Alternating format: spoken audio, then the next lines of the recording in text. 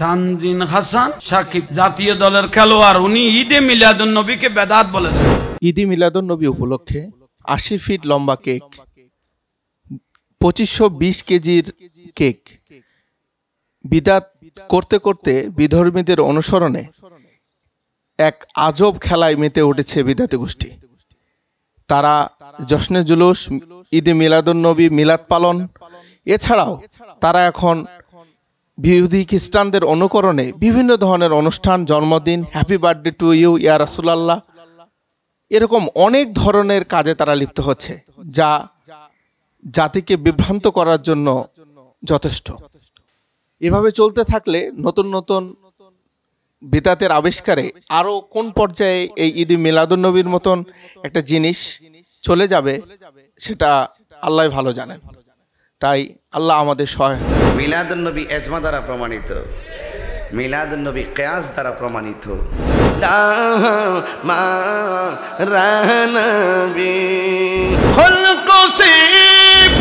নারায়ণী বলে।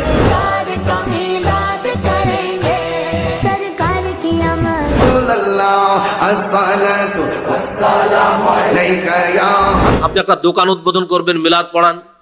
আপনার ছেলে পরীক্ষায় পাশ করেছে, মিলাদ দেন। নতুন বিবাহ শাদী করেছেন, মিলাদ দেন। বাবা মা মারা গেছে মিলাদ দেন। সন্তান জন্মগ্রহণ করেছে, তো মিলাদ দেন। খালি মিলাদ আর মিলাদ। হুজুররা দেখল যে বছরে একদিন ইনকাম করে আর ভালো খেয়ে লাভ নাই। এটা চালু করে দিয়েছে যেন প্রতিদিন এই ধরনের মিলাদের দাওয়াত পড়ে, আর কিছু টাকা ইনকাম করা যায়, আর কিছু খাওয়া যায়। আমাদের দেশে যেমন আমরা ঈদে মিলাদুন্নবী আমাদের দেশে পালিত হচ্ছে, বারোই রবিউল আউয়াল। বারোই রবিউল আউয়াল, না অন্য কোনো তারিখ এটা কোনো হাদিসে পাবেন না। সহি হাদিস জয়ীফ হাদিস জাল বানোয়াট হাদিস কোনো হাদিসে পাবেন না। মিলাদ নবী এজমা দ্বারা প্রমাণিত। মিলাদ নবী কেয়াস দ্বারা প্রমাণিত। সকল মানুষের চাইতে এমনকি নিজের জীবনের চাইতে রাসূলুল্লাহ সাল্লাহ আলী সাল্লামকে বেশি ভালোবাসতে হবে, এটাই সঠিক কথা। যেই সুন্নাত রেখে গেছেন আমাদের মাঝে, সেই সুন্নাতের যথাযথ অনুসরণের মাধ্যমেই তার ভালোবাসা প্রকাশ করতে হবে। ভালোবাসার কথা বলছি ঠিকই, কিন্তু রাসুল সাল্লাম কি সুন্নাত রেখে গেছেন? সেই দিকে আমরা লক্ষ্য রাখি না তাদের কাছে আবেদন রাখছি করো জোরে আবেদন, অনুরোধ করছি তাদেরকে। আপনারা একটা দলিল পেশ করুন যে ইমাম আবু হানিফা রাহমাহুল্লাহ ঈদে মিলাদুন্নবী পালন করতে বলেছেন এবং নিজে একবার একটা বছরে ঈদে মিলাদুন্নবী পালন করেছিলেন। আমি এবং রাসুল্লাহ সাল্লাম হাতির বছরে জন্মগ্রহণ করেছি।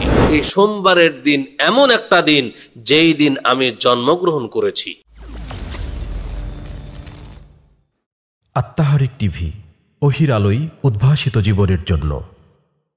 আসসালামু আলাইকুম রহমতুল্লাহ ওবরাকাত আলহামদুলিল্লাহ ওসালাত ওয়াসালাম আলা রসুলিল্লাহ ওবাদ সম্মানিত দর্শক শ্রোতা মণ্ডলী, আজকে আপনাদের সামনে অত্যন্ত গুরুত্বপূর্ণ একটা বিষয় নিয়ে উপস্থিত হয়েছি, আর তা হল ঈদ মিলাদুন্নবী ঈদ মিলাদুন্নবী অর্থাৎ নবী সাল্লাহ আলী ওয়াসাল্লামের জন্ম দিবস নবী সাল্লাহ আলী ওয়াসাল্লামকে ভালোবাসার দোহাই দিয়ে নবী সাল্লাহ আলী ওয়াসাল্লামের জন্ম দিবস পালন করা হয়। আমরা সকলেই জানি রাসুল্লাহ সাল্লাহ আলী ওয়াসাল্লাম তিনি নিজে ঘোষণা দিয়েছেন যে আনাসিবনে মালিক রাজি আল্লাহ তালতে বর্ণিত তিনি বলছেন রাসুল্লাহ সাল্লাহ আলী ওয়াসাল্লাম বলেন, লা ইউমিনু আহাদুকুম হাত্তা আকুনা আহাব্বা ইলাইহে। মিন ওয়ালিদিহি ওয়া ওয়ালাদিহি ওয়ান নাসে আজমাইন। তোমাদের মধ্যে ওই ব্যক্তি ততক্ষণ পর্যন্ত পরিপূর্ণ মুমিন হতে পারবে না।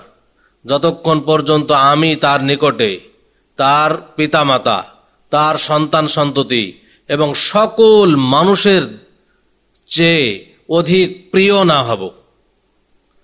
রাসুল সাল্লাহ আলী ওয়াসাল্লামকে নিজের সন্তানাদি নিজের পিতামাতা এবং সকল মানুষের চেয়ে অধিক বেশি ভালোবাসতে হবে, তাহলেই পরিপূর্ণ ইমানদার হতে পারবে। একদা অমর আব্দুল খত্তাব রাজি আল্লাহ তালু বলছেন যে, হে আল্লাহর রসুল সাল্লাহ আলী ওয়াসাল্লাম, আমি সব থেকে আপনাকে বেশি ভালোবাসি, তবে আমার জীবনের চাইতে নয়, আমার জীবনকে আমি বেশি ভালোবাসি। রাসুল্লাহ সাল আলী ওয়াসাল্লাম ওমার আব্দুল খত্তাব রাজি আল্লাহ তালকে বললেন, যে ওমার, আল্লাহর কসম করে বলছি যে আল্লাহর হাতে আমার প্রাণ। তোমার নিকটে তোমার জীবনের চাইতে যতক্ষণ পর্যন্ত আমি বেশি ভালোবাসার ব্যক্তি না হব, অধিক প্রিয়তর না হব, ততক্ষণ পর্যন্ত মুমিন হতে পারবে না। তখন অমর আব্দুল খত্তাব রাজিয়াল্লাহ তালাহ বললেন যে, এখন থেকে আপনি আমার নিকটে, আমার জীবনের চাইতে বেশি প্রিয়। তখন রাসুল্লাহ সাল্লাহ আলী আসাল্লাম বললেন আল আনাইয়া ওমার হ্যাঁ এখন তোমার পরিপূর্ণ ইমানদারের কথা হলো এ ওমার তাহলে সকল মানুষের চাইতে, এমনকি নিজের জীবনের চাইতে রাসুল্লাহ সাল্লাহ আলী আসাল্লামকে বেশি ভালোবাসতে হবে, এটাই সঠিক কথা। কিন্তু ভালোবাসবো কীভাবে? রাসুল সাল্লামকে ভালোবাসার মাধ্যমটা কি হবে? রাসুল্লাহ সাল্লাহ আলী আসাল্লাম তো এখন বেঁচে নেই। যে তাকে দাওয়াত করে অনেক আইটেমের খাবার বানিয়ে তাকে খাওয়ায় ভালোবাসা প্রকাশ করব। এটা তো আর সুযোগ নেই। রাসুল সাল্লাহ আলী আসাল্লামকে ভালোবাসার মাধ্যম কি হতে পারে? মাধ্যম এখন এটাই যে তার সুন্নাতের যথাযথ অনুসরণ। রাসুল্লাহ সাল্লাহ আলী আসাল্লাম যেই সুন্নাত রেখে গেছেন আমাদের মাঝে, সেই সুন্নাতের যথাযথ অনুসরণের মাধ্যমেই তার ভালোবাসা প্রকাশ করতে হবে। এজন্য আল্লাহ তালা নিজে ঘোষণা দিয়েছেন। আল্লাহ তালা বলছেন, কুল, হে নবী মোহাম্মদ সাল্লাহ সাল্লাম আপনি বলে দিন ইং কুং তুম তুহিব্বুন আল্লাহ, যদি তোমরা আল্লাহকে ভালোবাসতে চাও, ফাত্তাবিউনি, তাহলে তোমরা আমার অনুসরণ করো, আমার আনুগত্য করো, ইউহবিবকুমুল্লাহ যদি তোমরা আমার আনুগত্য করো, আমার অনুসরণ করো, তাহলে আল্লাহ তোমাদেরকে ভালোবাসবেন। ওয়াক ফিরলাকুম জুনুবাকুম এবং আল্লাহ তোমাদের পাপ সমূহকে ক্ষমা করে দেবেন। তাহলে আল্লাহ তালা নিজে তাকে ভালোবাসার মাধ্যম হিসেবে রাসুল সাহা সাল্লামের আনুগত্য করার কথা বলছেন। রাসুল সাল্লামের অনুসরণের কথা বলছেন। এই আয়াতের তফসিরে ইবনু কাসির রাহেমাহুল্লাহ, তার তফসির ইবনে কাসিরে তিনি উল্লেখ করেছেন যে এই আয়াতটি তাদের জন্য ফয়সালাকারী, যারা আল্লাহকে ভালোবাসার দাবি করে। তারা বলে যে আমরা আল্লাহকে ভালোবাসি, অথচ মোহাম্মদ সাল্লাহ আলী আসাল্লামের তরিকার উপরে নাই। মোহাম্মদ সাল্লাম এর তরিকার উপরে না থেকে বলে যে আমরা আল্লাহ এবং তার রাসুলকে ভালোবাসি। তাদের বিরুদ্ধে ফয়সালাকারী আয়াত। আমরা যদি আল্লাহ এবং তার রাসুলকে ভালোবাসতে চাই। অবশ্যই অবশ্যই নবী মোহাম্মদ সাল্লাহ আলী ওয়াসাল্লামের অনুসরণ করতে হবে। তিনি যেই তরিকায় যে যা কিছু করেছেন, আমাদেরকে ঠিক তাই করতে হবে, তাহলেই ভালোবাসা প্রকাশ হবে। আমরা সবাই বাংলাদেশে বহু সংখ্যক মানুষ আমরা নিজেকে আশেক রাসুল পরিচয় দেই। আশেক রাসুল রাসুল প্রেমিক। রাসুল সাহসাল্লামের ভালোবাসার ক্ষেত্রে এই আশেক শব্দ ব্যবহার করাই ঠিক নয়। প্রথম কথা। দ্বিতীয় কথা হলো, যারা আমরা রাসুল সাহসাল্লামকে অধিক ভালোবাসার কথা বলি, তারা রাসুল সাল্লাহ আলী আসাল্লামের সুন্নাতের অনুসরণ করি না ভালোবাসার কথা বলছি ঠিকই, কিন্তু রাসুল সাল্লাম কি সুন্নাত রেখে গেছেন, সেই দিকে আমরা লক্ষ্য রাখি না। তাহলে অবশ্যই রাসুল সাল্লামের সুন্নাতের উপর টিকে না থেকে রাসুল সাল্লামকে ভালোবাসার দাবি করলে এই দাবি শুধু দাবি থেকে যাবে, কিন্তু কোনো লাভ হবে না। সম্মানিত উপস্থিতি, আমরা বিশেষ করে বাংলাদেশ, ইন্ডিয়া, পাকিস্তানের অধিকাংশ মানুষ রাসুল সাল্লাহ আলহি ওয়াসাল্লামকে ভালোবাসতে গিয়ে ঈদে মিলাদুন নবী পালন করে থাকি। ঈদে মিলাদুন নবী মিলাদুন নবী বলতে কি বোঝায়? মিলাদুন নবী বলতে নবী সাল্লাহ আলী ওয়াসাল্লামের জন্মের সময়কে বোঝানো হয়। রাসুল সাল্লাম যখন জন্মগ্রহণ করেছেন, এই সময়টাকে খুশির দিন হিসেবে গ্রহণ করে বিভিন্ন অনুষ্ঠান, বিভিন্ন ইহতেফাল করা হয়। প্রথম কথা বলব রাসুল্লাহ সাল্লাহ আলী ওয়াসাল্লামকে, তার সাহাবায় কেরাম সবচাইতে বেশি ভালোবাসতেন। রাসুল সাল্লাহ আলী ওয়াসাল্লামের জন্য তারা জীবন দিয়েছেন। তারা কি কখনো কেউ, কোন সাহাবে, আবু বকর রাজা কি কখনো ঈদে মিলাদুন্নবী পালন করেছেন? ওমর রাজি আল্লাহ তালানো কি কখনো একদিনের জন্য ঈদে মিলাদুন্নবী পালন করেছিলেন? আলী রাজি আল্লাহ তালানো কি একদিনের জন্য কোনো একদিনে ঈদে মিলাদুন্নবী পালন করেছিলেন? ওসমান রাজি আল্লাহ তালানো কি কখনো ঈদে মিলাদুন্নবী পালন করেছিলেন? তারা কেউ করেননি। এমন কি? আমি চ্যালেঞ্জ করে বলতে পারি যে কোনো মাঝহাবের কোনো ইমাম ঈদের মিলাদুল নবী পালন করেছেন কি? আজকে যারা বাংলাদেশে হানাফি মাঝহাবের অনুসরণ করছি, তাদের কাছে আবেদন রাখছি করো জোরে আবেদন, অনুরোধ করছি তাদেরকে। আপনারা একটা দলিল পেশ করুন যে ইমাম আবু হানিফা রাহমাহুল্লাহ ঈদে মিলাদুন্নবী পালন করতে বলেছেন এবং নিজে একবার একটা বছরে ঈদে মিলাদুন্নবী পালন করেছিলেন। কখনোই নয়। মাঝাবের কোনো প্রসিদ্ধ কিতাবে ঈদে মিলাদুন্নবীর কোনো অস্তিত্বই নাই। কোনো মাঝাবে কোনো অস্তিত্ব নাই। তার আমাদের দেশে এটা পালন করা হচ্ছে। মনে করছে যে এগুলো ইমাম আবু হানিফা রহমাউল্লাহ বলেছেন। মনে করা হচ্ছে যে ইমাম আবু হানিফা রহমাতুল্লাহ ঈদ নবী পালন করেছেন। মনে করা হচ্ছে ইমাম শাফি রহমাউল্লাহ ঈদ নবী পালন করেছেন, করতে বলেছেন। ইমাম মালিক রহমাউল্লাহ ঈদ নবী পালন করেছেন, করতে বলেছেন। কিন্তু কখনোই নয়। তারা কখনোই নিজেরা পালন করেননি, কাউকে করতেও বলেননি। এটা মাঝহাবের কোনো অংশই নয়। মাঝহাবের কোনো ফতোয়াতেও নেই। মাঝহাবের কোনো প্রসিদ্ধ কিতাবের কোনো অস্তিত্বই নেই। অথচ আমাদের দেশে এটা করা হচ্ছে। সম্মানিত উপস্থিতি। ঈদে মিলাদুন্নবী, রাসুল সাহসালামের জন্ম দিবস যেহেতু জন্ম দিবস ঈদে মিলাদুন্নবীর যে কোনো অস্তিত্ব নাই ইসলামে, এটা প্রমাণ করার জন্য আমাদেরকে কিছু বিষয় উল্লেখ করতে হবে। সেটা কি? এক নাম্বার, রাসুল সাল্লাহ আলী ওয়াসাল্লাম যেই বছরে জন্মগ্রহণ করেছেন, সেই বছর সহিহাদিস দ্বারা প্রমাণিত। কায়েসিবিন মখরামা রাদি আল্লাহ তালু বলছেন যে উলিদ আনা ওয়া রাসূলুল্লাহ সাল্লাল্লাহু আলী ওয়াসাল্লাম আম আল ফিল। আমি এবং রাসূলুল্লাহ সাল্লাল্লাহু সাল্লাম হাতির বছরে জন্মগ্রহণ করেছি। হাতির বছর কাকে বলে? যে বছরে আব্রাহা বাহিনী হাতি বাহিনী নিয়ে কাবা ধ্বংস করতে গিয়েছিল। সেই বছরেই নবী মোহাম্মদ সাল্লাহ আলী ওয়াসাল্লাম জন্মগ্রহণ করেছিলেন। এই জন্যই ওই বছরকে বলা হয় হাতির বছর। ওই হাতির বছরেই রাসুল্লাহ সাল্লাম জন্মগ্রহণ করেছেন। এটা সহি হাদিস দ্বারা প্রমাণিত। কোন বারে জন্মগ্রহণ করেছেন সেটাও সহি হাদিস দ্বারা প্রমাণিত। রাসুল্লাহ সাল্লাহ আলী ওয়াসাল্লাম প্রতি সোমবারের দিন সিয়াম পালন করতেন। জিজ্ঞেস করা হলো হয়ে আল্লাহ রাসুল সাল্লাম আপনি প্রতি সোমবারের দিন শ্যাম পালন করেন কেন? রাসুল সাল্লাম বললেন ফিহে, এই সোমবারের দিন এমন একটা দিন যেই দিন আমি জন্মগ্রহণ করেছি। আও বয়স্তু ফিহে, অথবা এই সোমবারের দিন এমন একটা দিন যেই দিন আমি নবোধ পেয়েছি, আমার নিকটে ওহি নাজিল হয়েছে। তাহলে দেখেন, তাহলে এই রসুল সাল্লাম সোমবারের দিন জন্মগ্রহণ করেছেন, এটাও সহি হাদিস দ্বারা প্রমাণিত।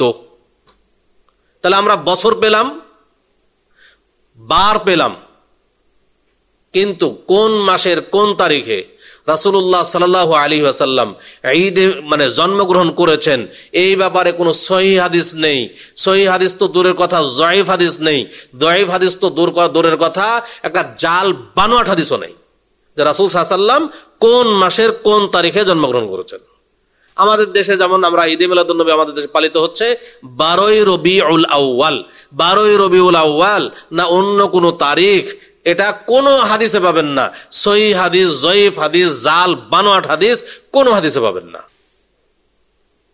এই জন্যই যখন ঈদে মিলাদুন নবীর প্রথম জন্ম দিয়েছিল ইরাকের এরবাল এলাকার গভর্নর মুজাফর উদ্দিন কুকুবরি বায়তুল মাকদেসে সেটা ছয়শো চার মতান্তরে ছয়শো পঁচিশ হিজড়িতে রাসুল সাহসাল্লাম মৃত্যুবরণ করেছেন এগারো হিজড়ি। আর সেখানে ঈদে মিলাদুল নবী এর জন্ম হয়েছে ছয়শো চার মতান্তরে ছয়শো পঁচিশ হিজড়ি। তাহলে কোথায়? প্রায় ছয়শো বছর পরে এই ঈদে মিলাদুল নবীর জন্ম হয়েছে। যখন এই ছয়শো বছর পরে মুজাফরউদ্দিন কুকুরি, কুকুবুরি বাইতুল মাকদেসে এই ঈদ ঈদে মিলাদুল নবীর জন্ম দেয়, ঈদে মিলাদুল নবী পালন করা শুরু করে, তখন রাসুল হাসানের জন্ম তারিখ নিয়েই মতভেদ হয়ে গেছে। রাসুল হাসান কোন মাসের কোন তারিখে জন্মগ্রহণ করেছে কেউ বলছেন রাসুল সাল্লাহ আলী ওয়াসাল্লাম মহার্রাম মাসে জন্মগ্রহণ করেছেন। কেউ বলছেন রাসুল্লাহ সাল্লাহ সাল্লাম সফর মাসে জন্মগ্রহণ করেছেন। কেউ বলছেন রাসুল্লাহ সাল্লাহ আলী ওয়াসাল্লাম রমাদান মাসে জন্মগ্রহণ করেছেন। কেউ বলছেন রাসুল্লাহ সাল্লাহ আলী ওয়াসাল্লাম রবিউল আউ্য়াল মাসে জন্মগ্রহণ করেছেন। রবিউল আউ্য়াল মাসের মধ্যে আবার সাতটা মত। শুধুমাত্র রবিউল আউ্য়াল মাসে সাতটা মত আছে। কেউ বলছেন রবিউল আউ্য়াল মাসের দুই তারিখে। কেউ বলছেন রবিউল আউ্য়াল মাসের আট তারিখে। কেউ বলছেন রবিউল আউ্য়াল মাসের নয় তারিখে। কেউ বলছেন রবিউল আউ্য়াল মাসের দশ তারিখে। কেউ বলছেন রবিউল আউ্য়াল মাসের বারো তারিখে। কেউ বলছেন রবিউল আউ্য়াল মাসের সতেরো তারিখে। কেউ বলছেন রবিউল আউ্য়াল মাসের বাইশ তারিখে। তাহলে সাতটা মত শুধুমাত্র রবিউল আউ্য়াল মাসে। তাহলে এখন প্রশ্ন, আপনাদের বিবেকের কাছে প্রশ্ন। প্রশ্ন হলো যদি রাসুল্লাহ সাল্লাহ আলী আসাল্লামের জন্ম দিবস রাসুল সাল্লাম তার নিজের জীবদ্দশাতে পালন করে থাকতেন, রাসুল সাল্লাহ আলী আসাল্লামের মৃত্যুর পরে যদি সাহাবায়ে কেরাম তার জন্ম দিবস পালন করতেন, সাহাবায়ে কেরামের পরে যদি তাবে আইনে ইজাম তার জন্ম দিবস পালনের সিলসিলা জারি রাখতেন, তাহলে রাসুল্লাহ সাল্লাহ আলী আসাল্লামের জন্ম তারিখ নিয়ে কোনো মতভেদ হওয়ার কি কোনো সুযোগ ছিল? কোনো সুযোগ ছিল না। আমাদের দেশের মাননীয় প্রধানমন্ত্রীর জন্মদিবস পালন হয়। কততম জন্মদিবস মানুষ বলে দেয়? কেন? কারণ প্রথম থেকে সেটা সিলসিলা জারি আছে। নবী মোহাম্মদ সাল্লাহ সাল্লাম পৃথিবীর সর্বোৎকৃষ্ট মানুষ, সবচাইতে মর্যাদাশীল মানুষ। তার জন্মদিবস তার জামানায় পালন হবে। সাহাবায়ক রাম তার সিলসিলা জারি রাখবে। তবে ইজাম তার সিলসিলা জারি রাখবে। আর বর্তমান জামানায় এসে মানুষ তার জন্ম তারিখ ভুলে যাবে আর জন্ম তারিখ নিয়ে মতভেদ হবে। এটার কি কোনো সুযোগ আছে? কোনো বিবেকবার মানুষের বিবেককে কথা সাপোর্ট করবে? কখনোই নয়। অতএব এই মতভেদ রাসুল সাহা সাল্লামের জন্ম তারিখ নিয়ে এই মতভেদটাই প্রমাণ করে যে রাসুল্লাহ সাল্লাম এর জামানায় সাহাবায়করামের জামানায় তাবে আইনে ইজামের জামানায় ঈদে মিলাদুন নবীর কোনো অস্তিত্ব ছিল না। যখন পরবর্তীতে চালু করতে গেছে, তখন তার জন্ম তারিখ নিয়ে মতভেদ হয়েছে। আমাদের দেশে বারোই রবিউল আউ্য়াল মাসে রবিউল আউ্য়ালে রাসুল সাল্লামের জন্মদিবস ঈদে মিলাদুন নবী পালন হয়। অথচ তার কোনো প্রমাণ নাই। প্রমাণ সোমবারের দিন জন্মগ্রহণ করেছে। আমরা সোমবারকে কিন্তু লক্ষ্য করি না। আমরা বারোই রবিউল আউ্য়াল। বারোই রবিউল আউ্য়াল মাস এই তারিখ। সোমবার হোক, না মঙ্গলবার হোক, না বুধবার হোক, বৃহস্পতিবার হোক, আমাদের কোনো লক্ষ্য নাই। শুধু বারোই রবিউল আউ্য়াল হলেই হলো, অথচ এর পেছনে কোনো দলিলই নাই। বলতে পারেন যে রাসুল সাল্লাহ সাল্লাম তার জন্মদিবস, জন্মর তারিখ বা জন্মের বার, সোমবার তিনি জন্মগ্রহণ করেছেন জন্য তিনি সিয়াম পালন করতেন। তো সিয়াম পালন করতেন। এটা কি প্রমাণ নয় যে তিনি তার জন্মদিবস পালন করেছেন? আমাদের অনেকে কথা বলে। দেখুন রাসুল্লাহ সাল্লাহ আলী ওয়াসাল্লাম সুক্রিয়া স্বরূপ সোমবারের দিন সিয়াম পালন করেছেন। আমরাও সিয়াম পালন করি। রাসুল সাহসাল্লাম সিয়াম পালন করেছেন। এটা সই আদেশ দ্বারা প্রমাণিত। অতএব আমরাও সিয়াম পালন করি। সব কিছু বাদ দিয়ে সোমবারের দিন সিয়াম পালন করি, যেটা রাসুল সাহসাল্লাম থেকে প্রমাণিত। এটাই হলো সোননাথ আমরা সোমবারের দিন সিয়াম পালন করব। সম্মানিত উপস্থিতি। আমাদের দেশে জন্মদিবস বছরে একদিন চালু হয়েছিল, কিন্তু এখন আমাদের দেশে এই মিলাদ শুধুমাত্র বছরে একদিন নাই, বছরে তো একদিন আছেই আছে। কিন্তু আমাদের দেশের হুজুররা মনে করল যে বছরে একদিন বারোই রবি আওয়াল সেই একদিনে যদি আমরা পালন করি, তাহলে একদিন ইনকাম হচ্ছে আর একদিন ভালো ভালো খাওয়া হচ্ছে। অতএব একদিনে করব কি? একদিনের দরকার নাই। এবার কি হচ্ছে? মিলাদ পড়ছে। বলছে যে নতুন ঘর বানাইছেন বাড়ি বানাইছেন উদ্বোধন উপলক্ষে একটা মিলাদ দেন। কিছু খাদ্য খাবার তৈরি করুন, ইমাম সাহেবকে ডাকুন, মিলাদ পড়ান খাইতে দেন। আপনি একটা দোকান উদ্বোধন করবেন, মিলাদ পড়ান। আপনার ছেলে পরীক্ষায় পাশ করেছে, মিলাদ দেন। নতুন বিবাহ শাদী করেছেন, মিলাদ দেন। বাবা মা মারা গেছে, মিলাদ দেন। সন্তান জন্মগ্রহণ করেছে তো মিলাদ দেন। খালি মিলাদ আর মিলাদ। হুজুররা দেখল যে বছরে একদিন ইনকাম করে আর ভালো খেয়ে লাভ নাই। এটা চালু করে দিয়েছে যেন প্রতিদিন এই ধরনের মিলাদের দাওয়াত পড়ে, আর কিছু টাকা ইনকাম করা যায়, আর কিছু খাওয়া যায়। এই মিলাদ যদি ইবাদতি হয়, আজকে ঘোষণা দেওয়া হোক, যে যে সমস্ত হুজুররা মিলাদ পড়াইবেন, সেই সমস্ত হুজুররা যদি ইবাদত মনে করে পড়ান, তাহলে ইবাদতই করেন খেতেও দেওয়া হবে না, টাকাও দেওয়া হবে না। যদি এই ঘোষণা দেওয়া হয়, কালকেই ওই হুজুররা ফতোয়া দেবে যে মিলাদ, কোরআন হাদিসে কোনো অস্তিত্ব নাই, এগুলো পড়ার কোনো দরকার নেই। যতদিন পর্যন্ত খাওয়ার অনুষ্ঠান হবে, যতদিন পর্যন্ত টাকা দেওয়া হবে, ততদিন পর্যন্ত এই মিলাদ অনুষ্ঠান বন্ধ হবে না। এটাই স্বাভাবিক। সম্মানিত উপস্থিতি, আমরা এগুলোকে, আমাদের দেশের কিছু পেট পূজারী আলেম, এই সমস্ত অনুষ্ঠানকে নিজেদের পেট ভরার জন্য, পকেট ভরার জন্য জারি রেখেছে। সাধারণ মানুষ আমরা বুঝতে পারছি না। আচ্ছা বলেন তো, আপনারা যেই হুজুরদেরকে মিলাদ পড়ার জন্য বাড়িতে ডেকে নিয়ে আসেন, টাকা দেন খেতে দেন, ওই সমস্ত হুজুরের বাড়িতে কয়দিন মিলাদ হয়েছে? বলতে পারবেন? ওই সমস্ত হুজুর নিজের বাড়িতে মিলাদ দেয় না। কেন দেয় না? ওরা জানে যে এগুলো কোরআন হাদিসে কিছু নাই। অতএব টাকা খরচ করে কোনো লাভ নাই। সাধারণ মানুষ, আপনারা মনে করছেন যে বিরাট নেকির কাজ করছেন। আমি মনে হয় এই মিলাদুল নবীর মাধ্যমে রাসুল সাহসালামের ভালোবাসা একবার উতলিয়ে দিচ্ছেন। আসলে তা নয়। রাসুল সাহসাল্লামের ভালোবাসা অন্তরের বিষয়। রাসুল সাল্লামকে ভালোবাসতে গেলে তার সুন্নাতের যথাযথ অনুসরণ করতে হবে। যতদিন সুন্নাতের অনুসরণ করবেন, ততদিন তার ভালোবাসা প্রকাশ হবে। সুন্নাত বাদ দিয়ে যতই যাই করেন না কেন, এই মেকি ভালোবাসা দিয়ে আপনি আসল ভালোবাসা প্রকাশ করতে পারবেন না। এজন্য সবাইকে সচেতন হতে হবে। সবাই যেন আমরা সচেতন হই। সচেতন না হলে এই সমস্ত হুজুররা তাদের ব্যবসা চালিয়ে যাবে। আল্লাহ তালা আমাদেরকে এই ইসলামের বিষয়গুলো নিয়ে সচেতন, সতর্ক হওয়ার তৌফিক দান করুন। আমরা অনেকেই, আমার এই বক্তব্য শুনে অনেকেই গালিগালাজ করবেন। মনে করবেন যে আমরা মনে হয় রাসুলের দুশ্মন, জি না। রাসুলের জন্য যদি জীবন দিতে হয়, আমরাই আগে জীবন দেব। কিন্তু রাসুলের প্রকৃত ভালোবাসা, প্রকৃত জিনিস আমরা তুলে ধরছি। আপনার বিবেক দিয়ে চিন্তা করবেন, নিরপেক্ষ হবে না আগে। নিরপেক্ষ দৃষ্টিতে চিন্তা ভাবনা করবেন, আপনি কি আবু বকর রাজা থেকে রাসুল সাল্লামকে বেশি ভালোবাসেন? আপনি কি উমার রাজা তালন থেকে রাসুল সাল্লামকে বেশি ভালোবাসেন? আপনি কি আলী রাজা তালন থেকে রাসুল সাল্লামকে বেশি ভালোবাসেন? আপনি কি রাসুল সাল্লামের স্ত্রীদের থেকে রাসুল সাল্লামকে বেশি ভালোবাসেন? কখনোই নয়। তারা তো কখনো মিলাদুল নবী পালন করল না। আমি, আপনি কি ভালোবাসা প্রকাশ করছি? এই ভালোবাসার কোনো দাম নাই। ভালোবাসা প্রকাশ করেন তার সুন্নাতের অনুসরণের মাধ্যমে, তাহলেই কাজ হবে।